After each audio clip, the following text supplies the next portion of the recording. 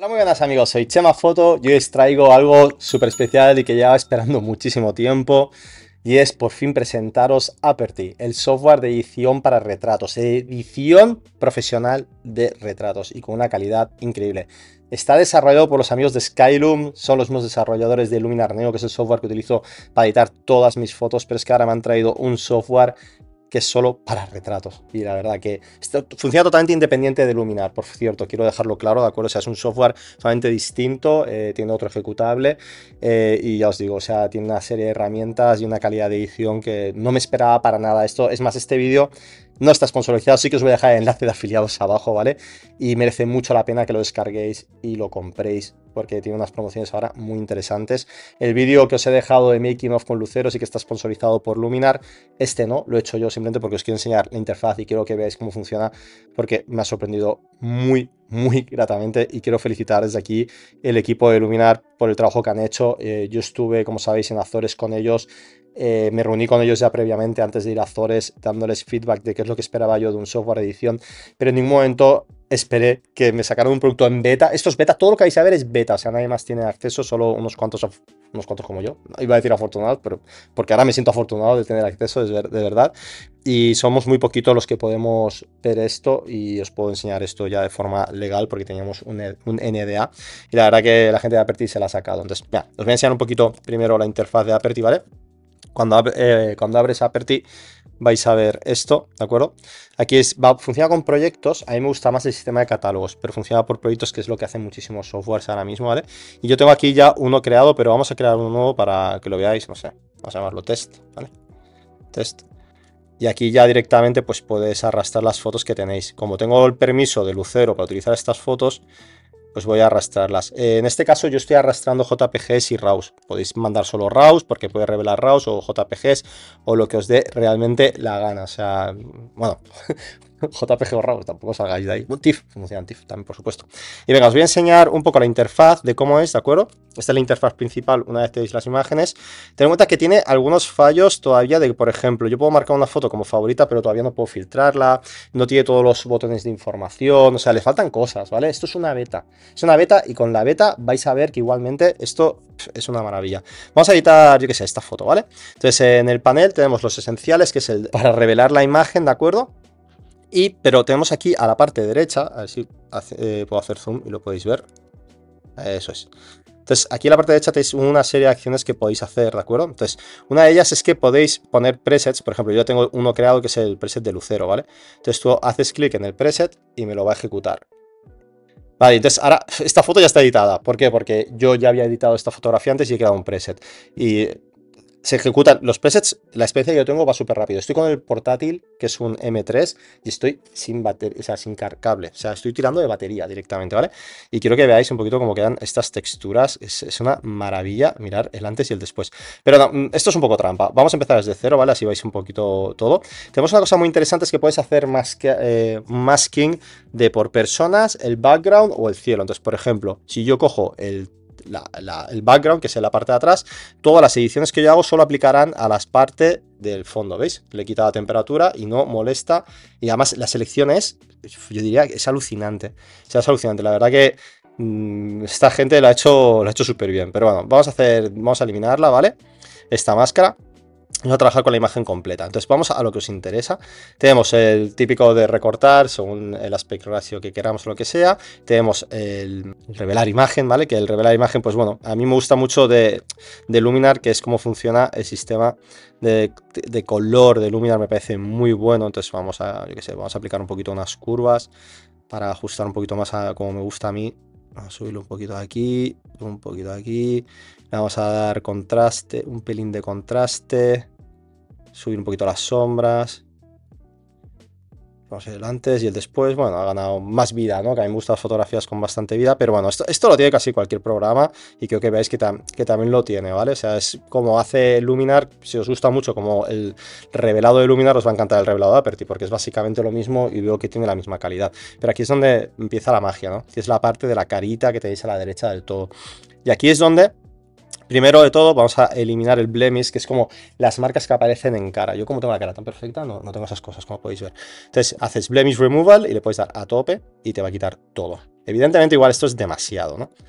Y como siempre, lo he repetido en todos los vídeos, creo, un gran poder conlleva una gran responsabilidad. O sea, mm, y también dependerá tu cliente, ¿no? Yo creo que ella que le quite todo y que parece una única porcelana tampoco le va a molar. Entonces, bueno, se puede quitar un poco y podemos quitar también las pecas. A mí quitar las pecas no me gusta. ¿Vale? Y mantener detalles. Si le podemos hacer así, que no mantenga nada de detalles, entonces veis que queda horrible. Pero me encanta esta opción de mantener detalles, porque es que realmente ha quitado las rojeces ha quitado las imperfecciones de granitos y de las quemaduras que tiene un poco de cara y me ha mantenido el detalle. O sea, es que es alucinante, de verdad. O sea, me parece brutal. O sea, brutal. O sea, esta herramienta es, mirar cómo ha mejorado esta foto solo utilizando dos sliders. Brutal, brutal. Y luego, evidentemente, igual me pasa, con, no hace falta mantener tanto los detalles, podemos quitar un poquito más de blemish. Tenemos el skin smoothing, que esto es la muñeca de porcelana de toda la vida. A mí esta personalmente no me gusta mucho. Sí que podemos mantener más detalles si le damos a tope, ¿vale? Ahora veréis que se ve el punto, ¿no? Dicen, no, pero es verdad. Muchas veces lo he visto esto, esto ¿no? Que un editor edita la pieza y dice, no, pero mira, si te fijas, tiene detalles todavía. Sí, tiene detalles en los puntitos, pero le ha hecho una limpieza de piel ahí que parece esto una mica porcelana. A mí el skin smoothing, bueno, un poquito puede estar bien y para mi gusto siempre manteniendo los detalles, ¿vale? Esto es algo muy personal, evidentemente, y cada uno edita como le sale del, de la NP. Luego tenemos corrección de color de piel, que esto es... A ver, mirar que ahora lo que ha hecho es toda la cara y le mantiene la misma tonalidad de color. Entonces, si os fijáis, ya tiene aquí un poco de rojez y se la ha quitado.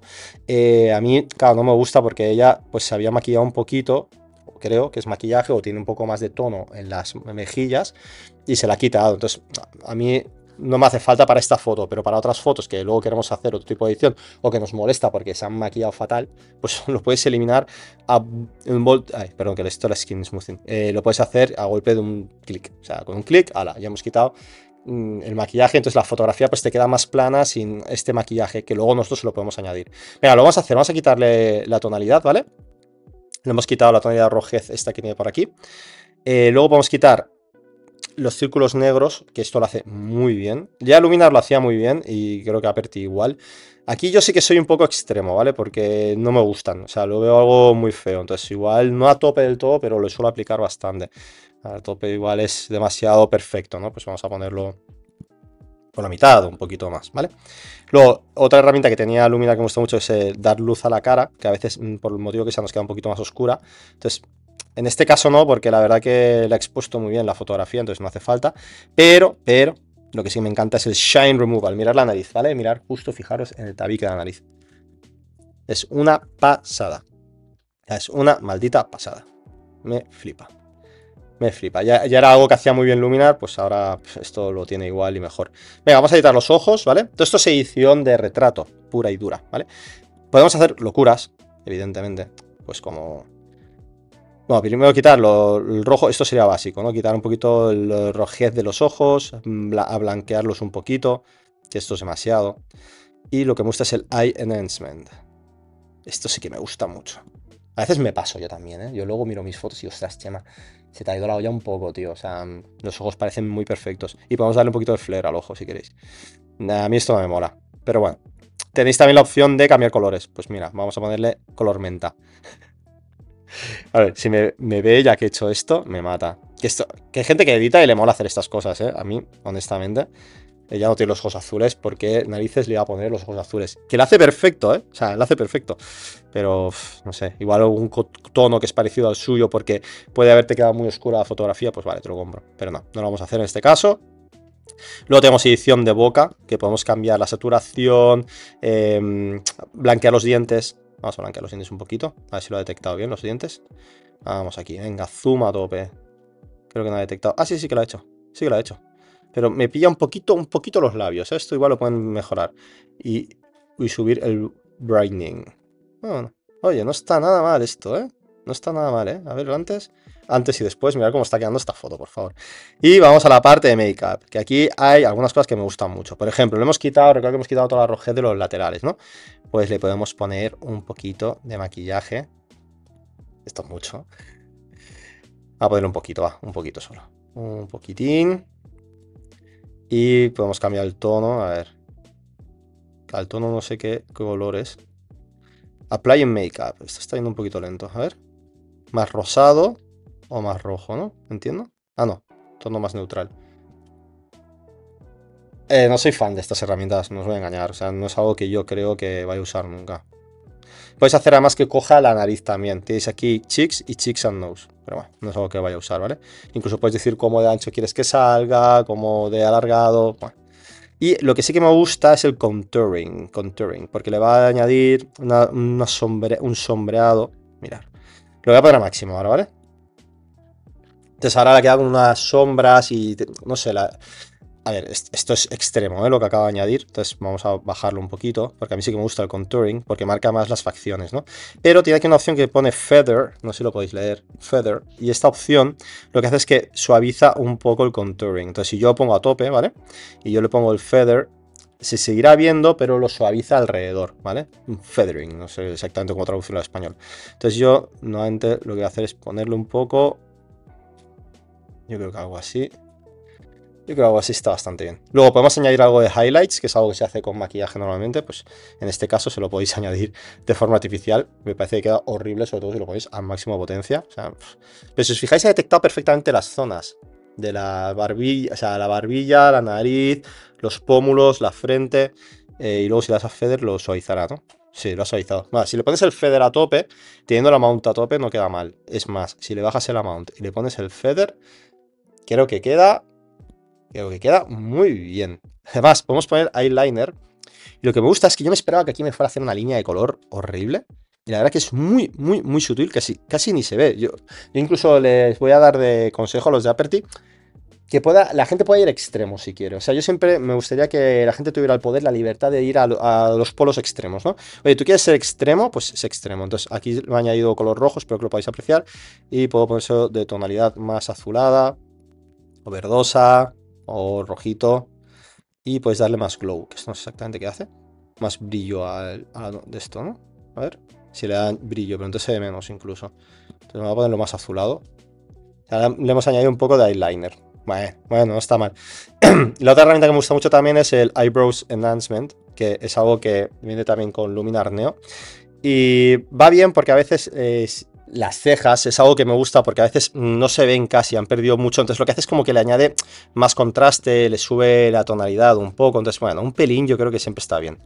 A ver, el tema de los labios, esta foto no es el mejor ejemplo del mundo, porque ya ella tiene los labios muy carnosos y se los habría pintado y se habría añadido brillo y tal. Entonces, eh, sí que podemos añadirle saturación, que se ve muy, muy rojizo.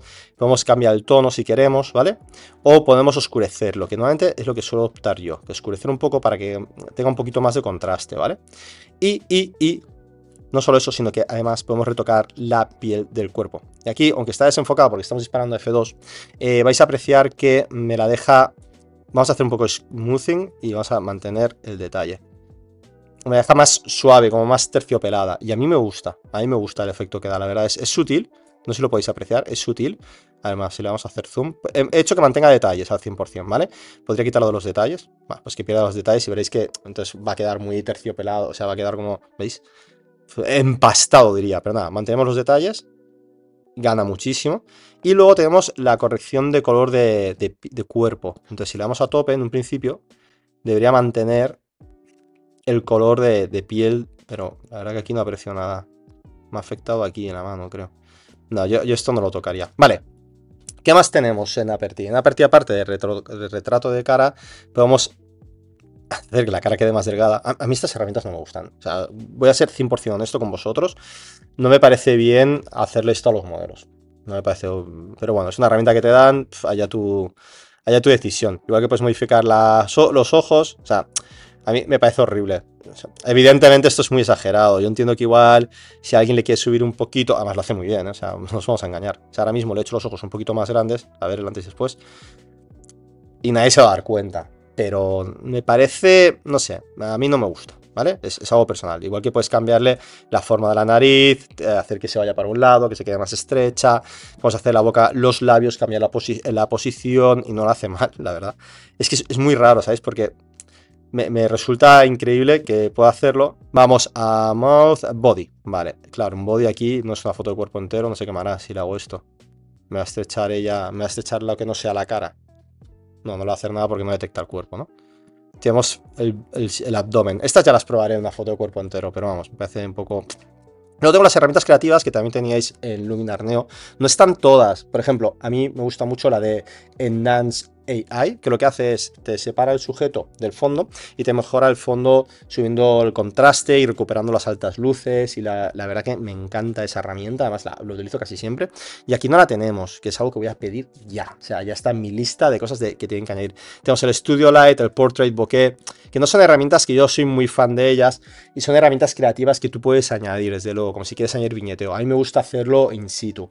Pero si quieres jugar con ellas, porque mira, oye, yo qué sé, añadir un poco de viñeteo, añadir un poco de grano, pues me parece bien. Pero si tú tienes que hacer una foto high hazla ya desde el principio. Si quieres una foto con mucho bokeh, pues hazla como yo, hazla con 85 milímetros, pues a f2 y cerca del modelo, y entonces tendrás poco desenfoque. O sea, estará, todo, estará todo muy desenfocado. Pero añadirlo de forma artificial, que sí, que lo hará mejor o peor, pero a mí, honestamente, no, no me gusta. Igual que añadir puntos de luz, que eso también lo tenemos en Luminar Neo, que de nivel creativo es lo que os digo, que puede ir muy bien, ¿eh? pero no es algo que, yo personalmente voy a utilizar. Entonces luego, por ejemplo, de, aquí podemos crear nuestros presets. O sea, yo podría apretar aquí y crear otro que sea Lucero 2. Y lo guardamos y entonces a las otras fotos, bueno, primero de todo que podemos hacer control C, control V y aplicarlo. Entonces esta foto ya inmediatamente tendrá los, los, mismos acabados que la foto anterior en cuanto acabe de aplicarse, ¿vale? Espérate, vamos a cerrar esto, que si no, vale. Entonces la foto ya está editada, o sea, simplemente copiando y pegando, o podemos ir a cualquiera de las otras imágenes, ir a presets y aplicamos el de Lucero 2, que es el que acabo de crear, ¿vale? Y una vez aplicado el preset, eh, pues igual tienes que ajustar algo, ¿no? Pero esta fotografía para mí, o sea, ya, ya está está casi finalizada. Es verdad que los colores no son exactamente igual porque supongo que la configuración de cámara no es la misma, pero vamos, editando un poquito el revelado de la foto, ya, ya, ya lo tendríamos. Mira, oye, espero que os haya gustado mucho esta preview de Aperty. Por favor, os dejo el enlace abajo para que lo podáis descargar. Comprarlo ahora, estáis a tiempo de conseguir una muy buena oferta. Eh, no sé si quedan licencias lifetime cuando está este vídeo lanzado, pero si no, va a tener una oferta de dos años al precio de uno. O sea, vais a tener, pagando dos años que son 200 euros, vais a tener, o sea, pagando un año que son 200 euros, os van a dar un año extra. O sea, que por 200 euros vais a tener dos años de software. No va con créditos, no hay límite de imágenes a editar.